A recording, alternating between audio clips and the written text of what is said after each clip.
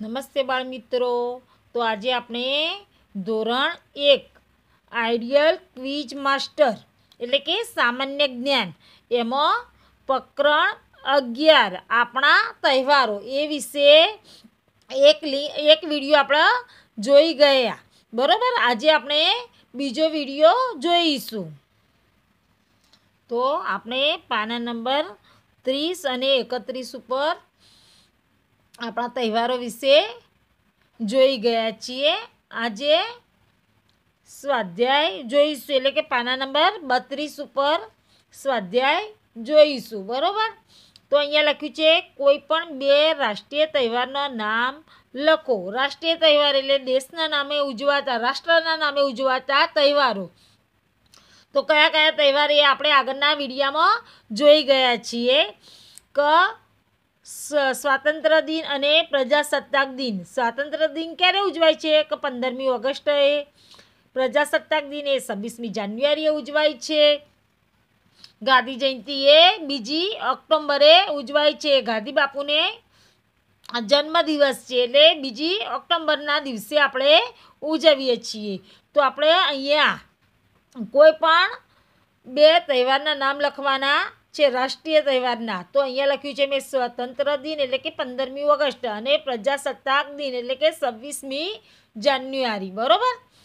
હવે અહીં લખ્યો, કોઈ પણ ચાર ધાર્મિક તહેવારોના નામ લખો.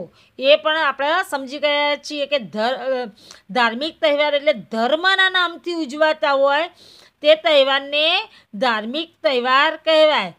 તો હિન્દુ હિન્દુ લોકો કયા તહેવારો ઉજવતા હોય તો દિવાળી, જન્માષ્ટમી રામનવમી નવરાત્રિ, આ એ હિન્દુઓનો મુખ્ય તહેવાર છે. મુસલમાન એ ઈદ ઉજવતા હોય છે.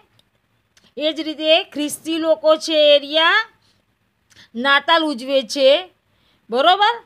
પછી જૈન લોકો હોય બુદ્ધ પૂર્ણિમા ઉજવતા હોય છે. તો અહીંયા એમ કહ્યું છે કે કોઈ પણ ચાર ધાર્મિક તહેવારના નામ લખો. તો આપણે લખીશું.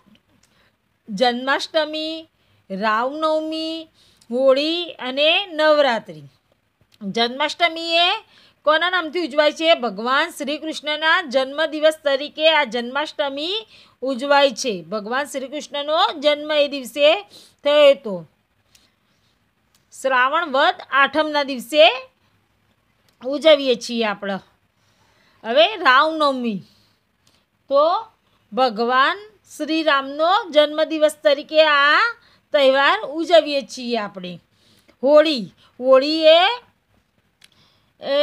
ભગવાન પ્રહલાદ, ભક્ત પ્રહલાદના નામથી ઉજવાય છે. કે હોલિકા કરીને એક રાક્ષસી હોય છે, તે હિરણકશ્યપ નામના રાક્ષસની બેન હોય છે. બરાબર? તો આ હોલિકા છે એ તેના ભત્રીજા એટલે કે પ્રહલાદને લઈને અગ્નિમાં બેસે છે.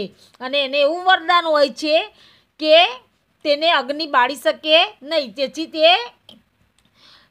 પ્રહલાદને બાળવા માટે અગ્નિમાં બેસે છે. પણ પરંતુ તેનું વરદાન ખોટું પડે છે અને તે બળી જાય છે. કેમ વરદાન ખોટું પડે છે કે તેના વિચારો ખરાબ હતા. તે પ્રહલાદને મારવા માગતા હતા. પ્રહલાદ ભગવાનનો ભક્ત હતો ને એના પિતા હતા એ રાક્ષસ હતા. એટલે એના પિતાને અભિમાન હતું કે હું જ ભગવાન છું અને મારી ભક્તિ કરો. પરંતુ પ્રહલાદ ભગવાનની ભક્તિ કરતો હતો એટલે ભગવાને તેને બચાવી લીધો હતો. એટલે ત્યારથી હોળી નામનો તહેવાર ઉજવાય છે. નવરાત્રિ એટલે કે માતા, માતાજી દેવશક્તિના નામથી ઓળખાય છે. શક્તિ માતા એટલે બધી અંબાજી માતા એ રીતે આપણે જે માતાઓને માનીએ છીએ, એ માતાઓના નામથી આ નવરાત્રિ ઉજવાય છે. તેમને ભક્તિ પૂજા થાય છે, આરાધના કરીએ છીએ અને એમના નામે આપણે ગરબા ગાઈને આનંદ માણીએ છીએ. એટલે નવરાત્રિનો તહેવાર ઉજવાય છે. એટલે કે જન્માષ્ટમી રામનવમી હોળી, નવરાત્રિ, તમને જે ગમે એ અહીંયા ચાર ધાર્મિક તહેવારના નામ તમારે લખવાના છે. હવે એમ લખ્યું છે કે નીચે આપેલા તહેવારોના ચિત્રોને તેમના તહેવારોના નામ સાથે જોડો. તો પહેલું ચિત્ર છે, શાનું છે ઉત્તરાયણ. બરોબર? તો આ મેં ઉત્તરાયણ સાથે ઉત્તરાયણ સાથે જોડ્યું છે. હવે બીજું ચિત્ર છે એ શાનું છે દિવાળીનું. કેમ કે એમાં ફટાકડાને ફૂટે છે, તો દિવાળી સાથે એને જોડવાનું છે. આ ચિત્ર છે એ રમઝાન ઈદનું છે. તો રમઝાન ઈદ સાથે એને જોડીશું આપણે. આ ચિત્ર છે રાખડી એટલે કે રક્ષાબંધનનું ચિત્ર છે. એટલે કે ભાઈ બહેનના પવિત્ર પ્રેમનો તહેવાર છે. તો એ રક્ષાબંધન સાથે આપણે જોડીશું. બુદ્ધ પૂર્ણિમા તો ભગવાન બુદ્ધ સાથે જોડીશું. બરોબર? તો બાળ મિત્રો તમારે આ પાનામાં જે રીતે આપેલું છે એ જ રીતે તમારે પણ તમારી સ્વા આ સામાન્ય જ્ઞાનની બુક છે એની અંદર તમારે આ રીતે પૂર્ણ કરવાનું છે, બરોબર? હવે અહીં લખ્યું છે, તમારા મનપસંદ તહેવારોની ઉજવણી કેવી રીતે અને શા માટે થાય છે, તે તમારા માતા પિતા પાસેથી જાણો. જે રીતે મેં તમને આ હોલિકાની વાત કહી, એ જ રીતે બધા જ તહેવારોની વાત તમે તમારા મમ્મી પપ્પા જોડે જાણી શકો છો, બરાબર?